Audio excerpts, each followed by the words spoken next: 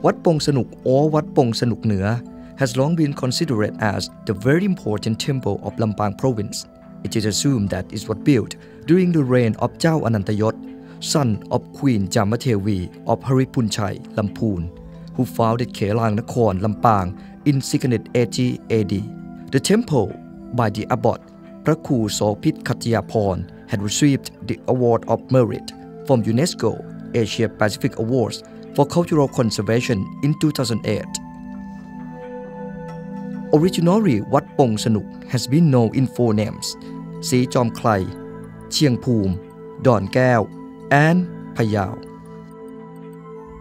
Important constructions within the monastery area include the Chao Pan Ong Vihan or 12 Zodiacs Vihan or Vihan for performing ceremony to remove one's bad luck.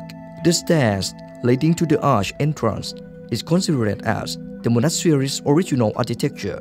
In 1886 AD, the monastery had undergone a huge renovation, which includes repairing pagoda, building the umbrella-like shape to decorate the final of the pagoda, building the arch entrance of the Pan Ong Vihan or 12 zodiacs Vihan or Vihan for performing ceremony to remove one's bad luck. Since in the old days both royal members and the commoners went to this Vihan to perform ceremony to remove their bad luck. Moreover, this temple is also the site of the first Sao Lak Mueang, the city pillar of Lampang, before it was moved to the old city hall building and remains there until present.